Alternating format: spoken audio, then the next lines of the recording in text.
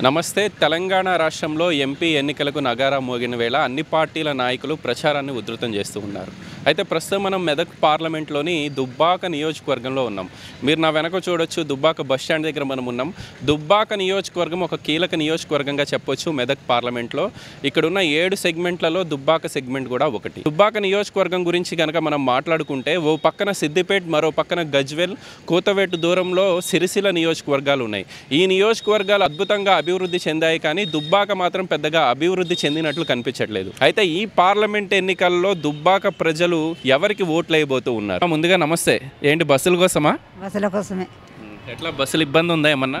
ఇబ్బంది ఏముంది బస్సులకు. మళ్ళీ ఎలక్షన్లు వస్తున్నాయి కదా మళ్ళీ లీడర్లు వస్తారు. మరి వాళ్ళకి ఏమైనా చెప్తారా ఈ మీ మాటలు? చెప్పకుంటే భయమా? చెప్తుండు చెప్పుడే.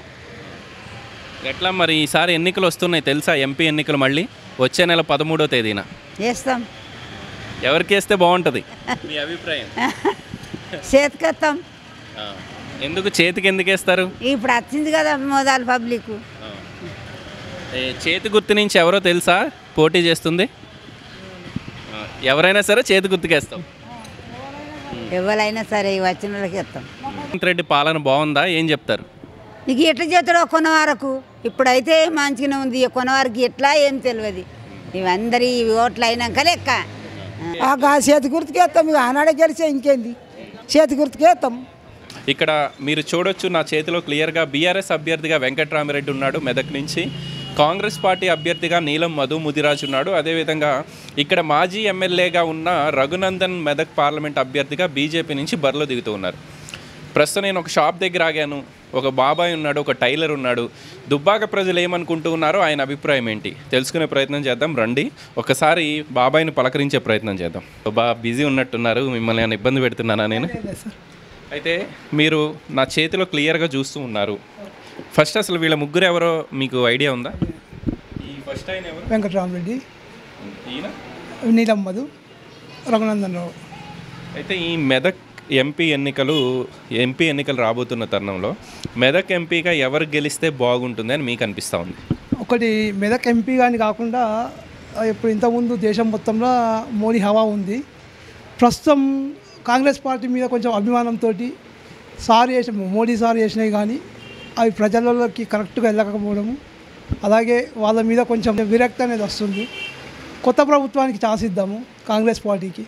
ఇంతకుముందు వాళ్ళు చేసిన ప్ర ప్రధానమంత్రులు మన్మోహన్ సింగ్ కానీ పివి నరసింహారావు కానీ వాళ్ళ యొక్క మంచి పనులు ప్రజలకు ఉపయోగపడేదని ఉండే. కాబట్టి ఇప్పుడు కూడా కాంగ్రెస్ పార్టీ నుండి ప్రధానమంత్రిగా ఒక సరైన వ్యక్తిని ఎన్నుకుందామని ఆలోచనతోటి ఎంపీ క్యాండిడేట్గా నీలం మధు గారిని గెలిపించాలని అనుకుంటున్నాను అంటే నీలం మధు అనే వ్యక్తి పటాన్ చెరువు నియోజకవర్గంలో ఉంటాడు. ఎలా తెలుసు అసలు నీలం మధు ఎట్లా తెలుసు మీకు?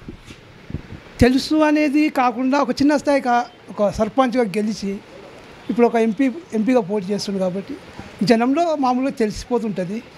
ఎవరైనా కొత్తగా వచ్చినప్పుడు కొన్ని కొన్ని సందర్భాలు తెలియదు నీలమ్మద్ గారు కూడా ఖచ్చితంగా దాదాపు జనంలో తెలిసిపోతుంటారు. ఖచ్చితంగా కాంగ్రెస్ పార్టీకి వేస్తారని నా ఉద్దేశం. అంటే మీ నియోజకవర్గానికి ఒక రెండేళ్ళు ఎమ్మెల్యేగా పనిచేసిన రఘునందన్ కూడా బీజేపీ అభ్యర్థిగా ఉన్నాడు. రఘునందన్ వైపు చూస్తున్నారు అని చాలామంది చెప్తున్నమాట. ఏం చెప్తారు రఘునందన్ గారిని నమ్మే పరిస్థితి లేదా? లేదు సార్ కూడా బాగానే చేసిండు. కాకపోతే ఏంటంటే ఇప్పుడు వచ్చేసి మాకు సెంట్రల్లో కాంగ్రెస్ ప్రభుత్వం రావాలని చెప్పేసి ఎంపీగా జనంలో ఎంపీగా మాకు కాంగ్రెస్ పార్టీ నుండి ఒక టికెట్ అనేది ఉంది కాబట్టి ఎంపీ టికెట్ ఒకటి ఇచ్చినాం అనుకో అక్కడ సెంట్రల్లో కూడా కాంగ్రెస్ పార్టీ ఫామ్ అవుతుందని చెప్పేసి మా ఉద్దేశంతో నీలం మధును కంపల్సరీ గెలిపించాలనుకుంటున్నాము. మనస్ఫూర్తిగా చెప్పండి. మనం దుబ్బాకలో ఉండి మాట్లాడుతున్నాం పక్కన సిద్దిపేట నియోజకవర్గం ఆ పక్కన గజ్వేలు కొంచెం దూరంలో సిరిసిల్ల. ఇవేమో అద్భుతంగా డెవలప్ అయినాయి. దుబ్బాక మాత్రం పెద్దగా డెవలప్మెంట్ లేని పరిస్థితి. మేము మొదటిసారి వస్తూ ఉన్నాం ఇక్కడికి. మా దురదృష్టం ఏంటంటే అప్పుడు టీఆర్ఎస్ ఉన్నప్పుడు ఇక్కడ బీజేపీ ఎమ్మెల్యే ఉండే. అక్కడ నుండి గవర్నమెంట్ నిధులు రాకపోవడమో ఏదో మొత్తం మీద కొంచెం స్ట్రగుల్ అయినాం. తర్వాత వచ్చేసి మా అదృష్టం కొద్దీ కాంగ్రెస్ పార్టీ వచ్చింది సెంట్రల్ రాష్ట్రంలో. ఆ తర్వాత వచ్చేసి ఇక్కడ ఎమ్మెల్యే బీఆర్ఎస్ ఎమ్మెల్యే అయ్యిండు. ఈ గ్యాప్లో ఏమవుతుంది అంటే నియోజకవర్గం దుబ్బాక అనేది డెవలప్ అవ్వడం అది ఒక ఉద్దేశం ఉంది. వాళ్ళకు వచ్చేసి వాళ్ళు డెవలప్ చేసుకుంటారు కానీ మా దుబ్బాకు వచ్చేసి మాత్రం డెవలపింగ్ లేకుండా అయిపోతుంది ప్రతి విషయంలో.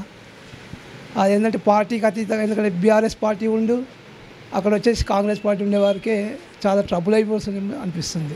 ఒకవేళ నీలం మధు అనే వ్యక్తి ఎంపీ అయితే ఈ దుబ్బాకకి ఏమన్నా మేలు జరుగుతుంది అన్న నమ్మకం ఉందా? ఉంటుంది సార్ ఆటోమేటిక్గా సెంట్రల్లో కాంగ్రెస్ వస్తుంది నీలం మధు గారు ఎంపీగా గెలుస్తాడు.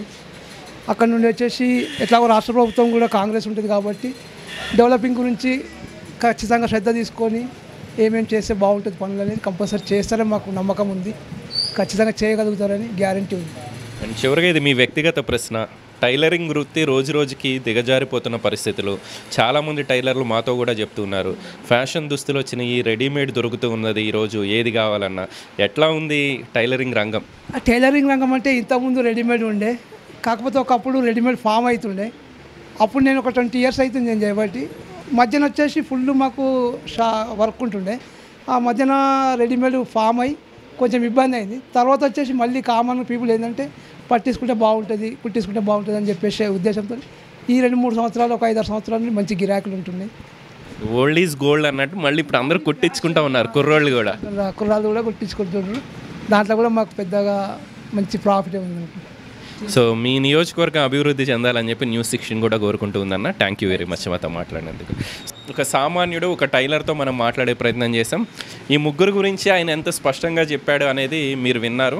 ఈసారి నీలం మధుకి అవకాశం ఇద్దాము. కాంగ్రెస్ పార్టీ ప్రభుత్వం ఉంది కాబట్టి దుబ్బాక అభివృద్ధి చెందాలంటే నీలం మధు గెలిస్తే బాగుంటుంది అని చెప్పి ఆ బాబాయ్ తన అభిప్రాయాన్ని వ్యక్తం చేస్తూ ఉన్నాడు. వీడియో జర్నలిస్ట్ అంజితో గోపికృష్ణ న్యూస్ సిక్స్టీన్ దుబ్బాక నియోజకవర్గం నుంచి.